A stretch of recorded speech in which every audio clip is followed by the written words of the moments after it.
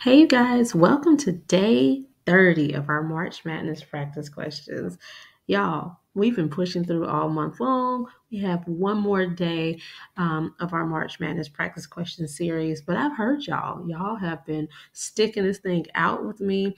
And um, I've taken the feedback, so we will be continuing this in April. I'm not sure of uh, the name or what I'll do, but we'll definitely keep the daily questions going. I'm here to help. So if y'all are liking it and y'all going to keep participating, I'll keep giving you the questions. But all right, y'all know I like to get into the intro and disclaimer before I get into the questions for today. So for those of you who are familiar with me, hey y'all. For those of you who are new here, welcome, welcome, welcome. I am Dr. Brittany Weinstock.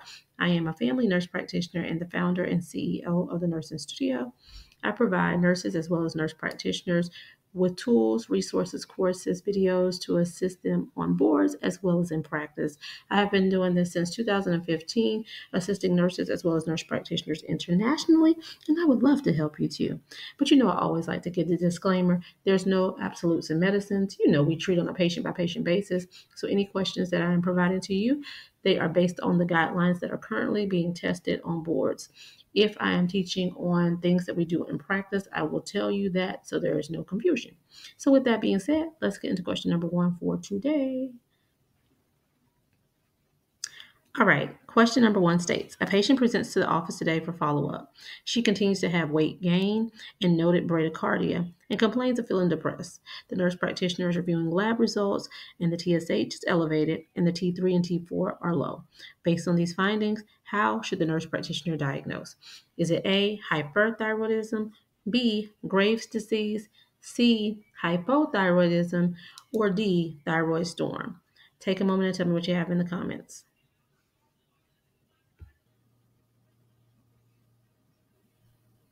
All right, as always, you know I recommend reading the stem of the question first so that it can slow you down and ensure that you are answering what is being asked of you.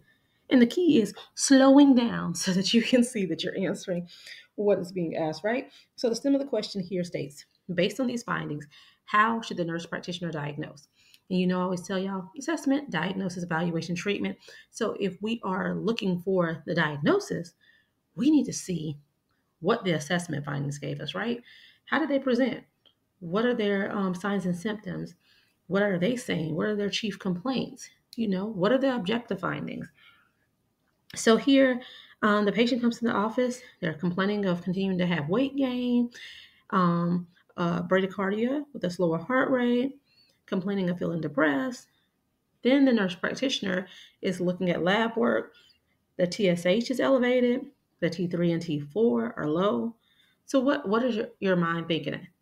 Of course, instantly you're thinking thyroidism, right? But hyper versus hypo. So here, the patient is having weight gain. Their heart rate is slow. They're feeling um, depressed. You should start thinking hypothyroidism, right? You know, I always give the scenario, and you can check out the video on hypo um, thyroidism versus hyperthyroidism. But with hyperthyroidism, you know, they're having the weight loss, right? I think like you're hyper. They're running, running, running, running, running. They're they're hype. They're revved up. They're um their heart rate is up because they're racing. They're running, running, running. Their hair is brittle because they've been sweating because they're running, running, running. That's hyper, right? And hypo is the opposite. They're gaining weight. They have no desire to do certain things. They feel depressed. Their heart rate is low and slow, right? Think hypo. So now let, let's look at the labs to see if that actually confirms what we're thinking, our differential that we're thinking, our differential diagnosis, right? So our TSH is elevated. Ding, ding, ding, right? Remember, the TSH is opposite of what the terminology is saying, right? Hypo meaning low, TSH is going to be high, right? Whereas the T3 and T4 go along with the terminology. So the T3 and T4 will be low. So that's what it's saying here. So your best answer is C, hypothyroidism, okay?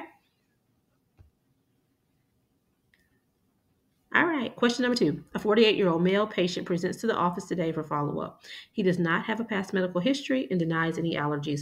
Upon exam, the patient's blood pressure is 146 over 96. The nurse practitioner recommended lifestyle modification six months ago and is deciding on the best treatment. what would be the best initial treatment? Is it A, amlodipine, B, lisinopril, C, valsartan, or D, chlorthalidone? Take a moment and tell me what you have in the comments. All right. So stem of the question states, what would be the best initial treatment? All right. So again, you know, we read the stem to slow us down to see what they're even asking, right? So we're looking for treatment. So we need to know the assessment, the diagnosis. So how are they presenting? What are we seeing with these patients? Um, what is the potential diagnosis so that we know what we're treating here, right? And then it also says best initial treatment. So, what is that best first line therapy that you're going to give here, right? So, this patient is 48, um, doesn't have past medical history, is not allergic to anything, blood pressure is elevated, right? Um, they've tried lifestyle modification six months ago. They're following up. So he needs something, right? Because what, what are the ACC and AHA guidelines for hypertension? That if they do not have comorbidities, we do not want their blood pressure to exceed 140 over 90, right?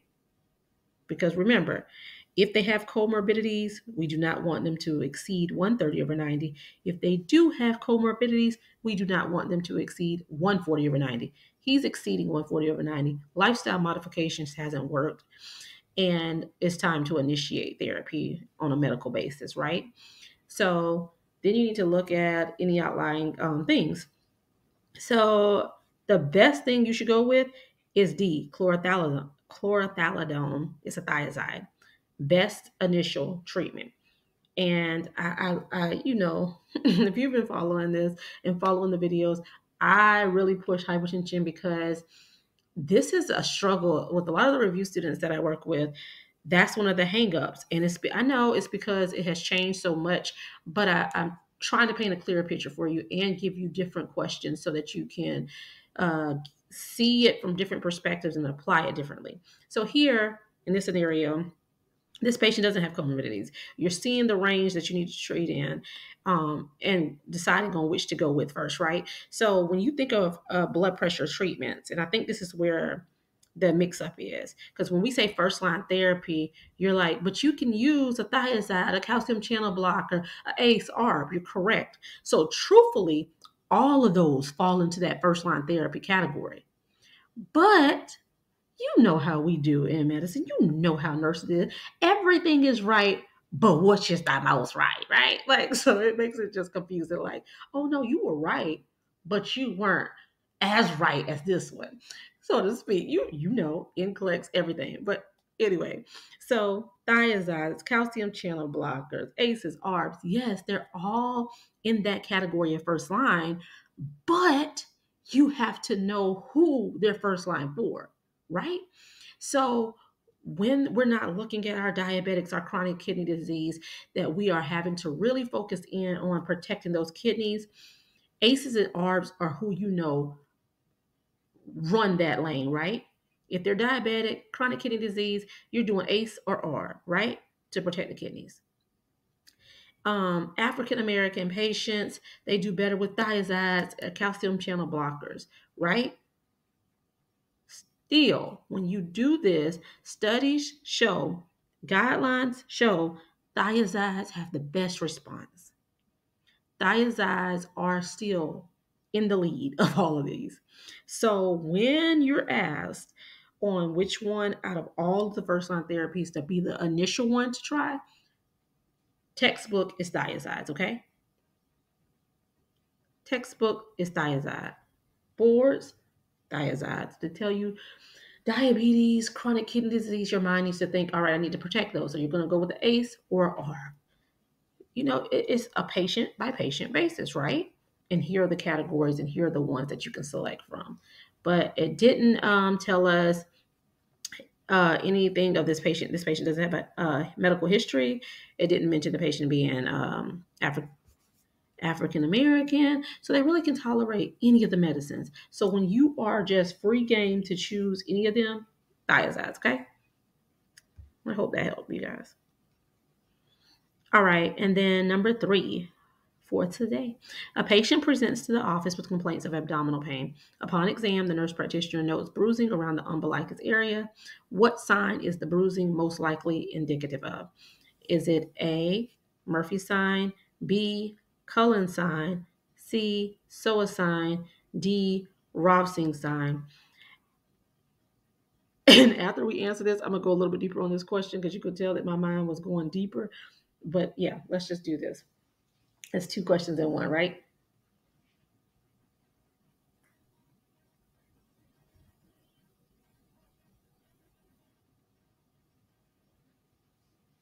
All right, similar question state, what, what sign is this bruising most likely indicative of? So two things here.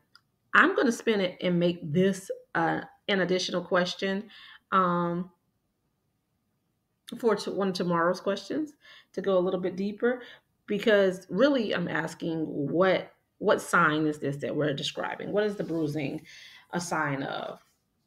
Um, because that can seem a little bit tricky. But again, a patient presents to the office with complaints of abdominal pain. Upon exam, the nurse practitioner notes bruising around the umbilicus area. What sign is the bruising most likely indicative of? And I, will just go ahead and answer both here so I'm not confusing the heck out of y'all, right?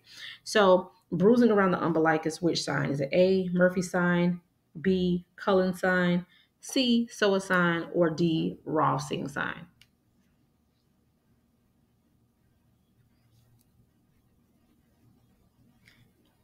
B is your answer, Cullen sign. You like, girl, you, you took the long route to get us here. But as I was reading it, I like, uh, I should have worded that better. But B, Cullen sign the bruising around the um, umbilicus, you know, and it commonly makes a C, a C shape. So I always think of it as C for Cullen's, right? So that bruising around the umbilicus um, is Cullen sign. We know it's not Murphy's sign. You know what Murphy's sign, we're palpating under that, that rib area, having them to inhale, and we are assessing for cholecystitis with that. Psoas sign, you know, having them lying on their left side, uh, raising that right leg to see if there's any abdominal pain. And you know, um, sign, we're palpating on the left, see if there's any uh, pain on the right, right? So that none of these have anything to do with the bruising around the umbilicus other than B, Cullen sign. Now, the way that this question can kind of be uh, interpreted also, and why I was saying, uh, I guess that could be a little bit tricky, but when it says, what is it most likely indicative of? What is Cullen sign, a positive Cullen sign indicative of? Tell me in the comments. A little bonus for you. How about that? Look, a ram in the bush, right? my mistake or my uh, poor clarification in that uh, question gives y'all a bonus. So Cullen sign, what what is a positive Cullen sign indicative of? And you should say pancreatitis, right? All right, you guys. Um, I hope you found this helpful. As always, be sure to like, comment, subscribe, and share with whomever you may think may find this beneficial as well. But you make sure to meet me back here. We've been pushing through all month long for our March Madness practice questions, and I'm loving that y'all are loving it. And like I said, I've received the feedback and y'all, I've been doing this a long time, but y'all have really, really enjoyed this, and I appreciate it. So, um, tomorrow is the last day of our March Madness, but we will keep the questions going. You know, I don't know what it's going to be called. What it'll, it'll, still be just like this, but y'all can look forward to continuing the questions. Um, all right, and we'll just keep it going. Y'all stick with me. I'll stick with you guys. So you know, if y'all want to participate, I'll do it. But if y'all need um, the nursing studio for any other assistance, um, if you need any of our self-paced review courses, uh, for those of you who are enrolled in our five-week intensive, I look forward to working with y'all starting on April the 8th. Enrollment closed on yesterday for that. So we'll be getting started about a week out for that. Um, but I look forward to working with you. If you want our review book, ebook, or our paperback, um, let us know. It's also a link in my bio. I tried to add some of these things to kind of help you guys out. And then um, one-on-one sessions. One-on-one sessions are, you know, just direct tutoring based off of you could do it in various tiers if you're looking to change your weaknesses to your strength on a specific area. Um, that's an option. If you're just trying to run through, that's an option. If you're trying to just gauge your readiness, that's an option to uh, be tested as far as like a pre-test and a analysis with feedback that's an option. And then there's also our custom package which is the most common one that you know has the assessment to see where you are that works to bring you from unsuccessful to successful gauging where your weaknesses are and formulating a study plan and package to help you get on the right track and working alongside with you for success. So i know that's a lot but I want to throw that out there. But just reach out to us at the Nursing Studio 803 400 6864 or shoot us an email at the Nursing Studio, the number one at gmail.com. I look forward to working with you guys. As always, happy studying. Bye, y'all.